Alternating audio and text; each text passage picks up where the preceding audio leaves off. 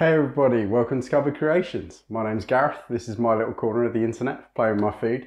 Today I'm going to make something long-winded for you in sound, but uh, not long-winded in making, if that makes any sense. So this is my tomato, basil and goat's cheese soda bread. Quite a mouthful. Might have to change that for the titles onto YouTube, it might be a bit long, but we're going to go with it. It's really nice, kind of tear and share soda bread. Yeah, wonderful stuff. So very, very simply, we're going to just kind of get our ingredients together for this one. So you're going to want 80 grams of sun-dried tomatoes. And we're just going to chop those up quite small. So kind of into like little slithers like that. Don't go too small because you don't want it everywhere. What we want is nice little bites where you just get all of that kind of bit of flavour here, bit of flavour there. Some bits will be stronger, some bits won't. Love it like that. So we're going to chop up those tom.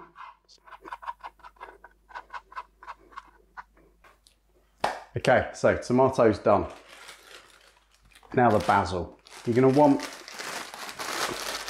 get out, a 30 gram kind of pack of basil you get down the supermarket. And all I'm going to do is pull off the really thick bits of the stalks, like so. And we're going to chop this down. What's left of the stalks, all the flavours there as well, so keep those in. I'm just going to roughly chop these.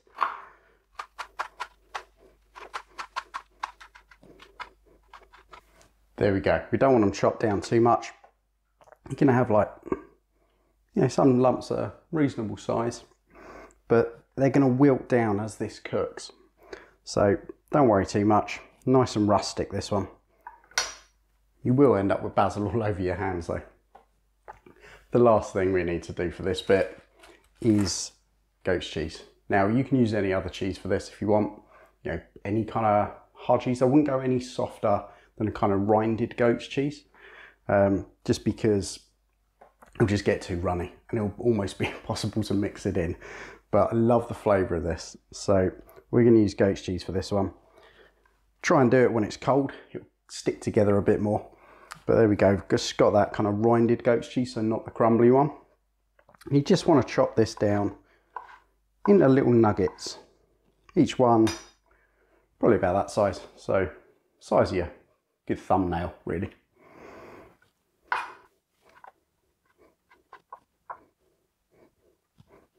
So there we go, that was easy and last time I did it, I tried to do this in height of summer. The goat cheese got so melty, it was almost impossible to work with. So there's our main ingredients. Well, say main ingredients, that's not gonna make a bread, is it? But those are gonna be the ingredients that are gonna add all this beautiful flavor in. So those ingredients done, get them out of the way, and then time to start putting together the soda bread. So grab yourself a bowl, and into that, we're just gonna sift in 420 grams of plain flour. I have probably overfilled this, and it's gonna go everywhere. Oh no, we're winning. Right, let's go.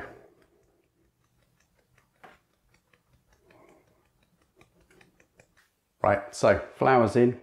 Next thing, bicarbonate of soda. So you want one teaspoon of this. And this is going to give it that kind of rise.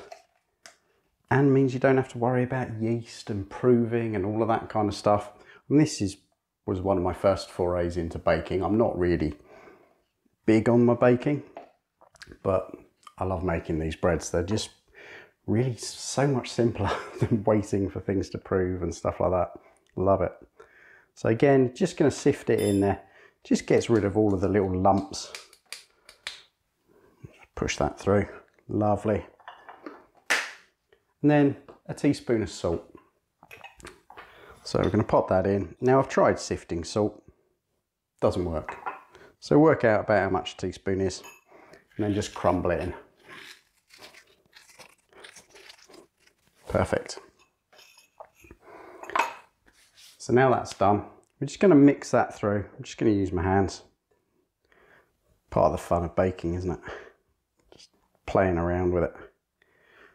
Go. Get that all mixed in. Lovely. Now we're just going to make a little well in the centre. And then to that, going to add buttermilk. So you want 300 ml of buttermilk here. which is fully planned as it's exactly the same size that they actually sell down the supermarket for me. So that's kind of where I've worked everything to. Saves wasting stuff.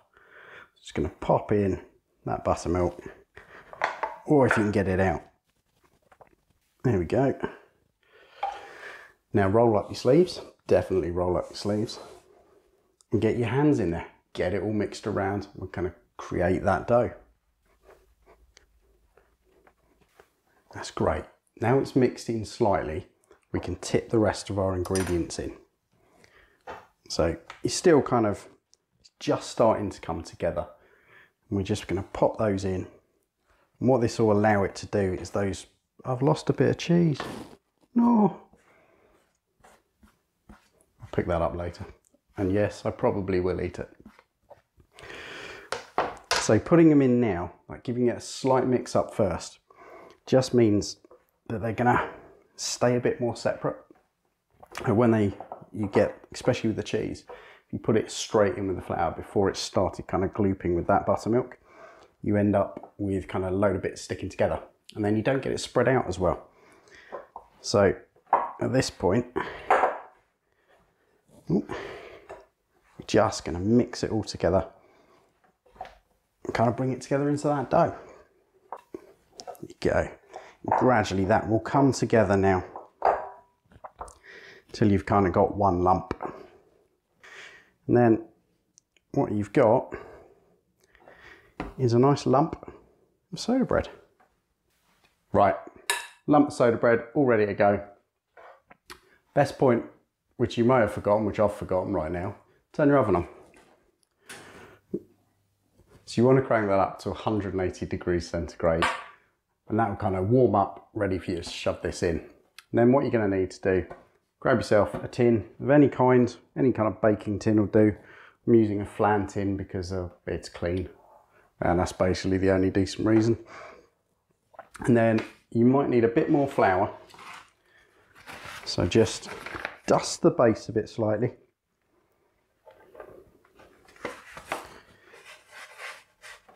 And then you might want a little bit on the side because I put too much in the pan. Just to get a little bit on your hands. Makes kind of rolling this out easier. Like I said, we're going to make a tear and share bread here. So instead of making, you can just grab this, one lump, whack it in the middle, stick it in the oven. Perfect. But I kind of like doing this with little balls. Thinking about bigger than a golf ball, smaller than a tennis ball. You want to kind of get all of these even. Just pop them in there. And each one's going to create like this little bun that people can rip off and kind of dig into.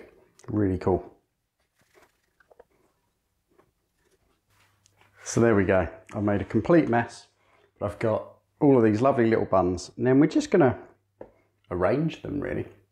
You want them touching because as they grow in the oven, just make sure any little bits aren't sticking out the edge. They'll kind of fuse together and that's when you'll get this kind of large loaf with all these little buns. You can just pull bits off.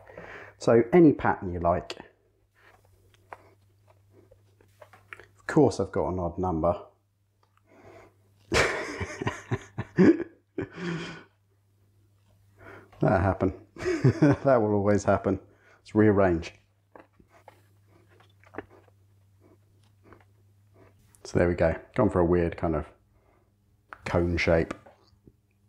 Just make sure that they're together, but you don't want to actually squeeze them together. You just want them sort of nestled up against each other. Like I said, that's as easy as the soda bread is really. So now we're just going to whack it straight in the oven, 180. We're going to leave it there for 45 minutes.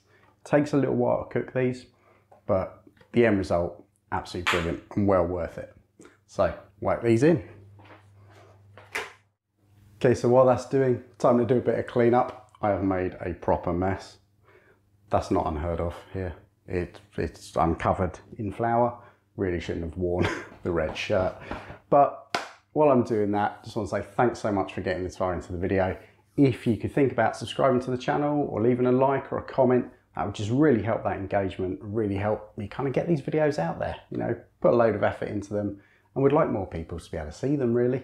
So I can only do that with your help. If you could leave one of those things, that would be fantastic. If not, that matter. I'll catch you in 45 minutes. Okay, so 45 minutes later, see what we got. Oh, please be good. Oh, yes. Hello. That is exactly what I was looking for. So you've still got those kind of like bun shapes on the outside, on the outside, all through it. And you can see how easy it would be just to tear these things off. So now we're gonna try and transfer it onto a cooling rack. Now let's hope it's strong enough to do that, which it is. So there we go. Perfect. Absolutely really happy with that one. Wonderful. So now we're just going to leave that. So give it 30 minutes on that rack, just cooling down before we sort of tuck in really. So bring back in 30 minutes, show you what we got. Okay, so there we are, half hour later. It's had time to cool down so it's edible. Um, not going to burn your mouth to bits, especially with the hot cheese in there. That would just like, but out instant. So that is my lovely tear and share tomato, basil and goat's cheese soda bread. So all we need to do now is give it a go. So that tears off lovely and you can see like little chunks inside of kind of bits of goat's cheese and the basil running right through. Absolutely delicious. So yeah, just, just eat it as is or spread a little bit of chutney on it or something like that. Absolutely fantastic. So there you go. I hope you enjoyed that. I do hope you give it a go and I'll catch you next time. Cheers. Mm. That's really good. Mm -hmm. You can't not like that. It's delicious.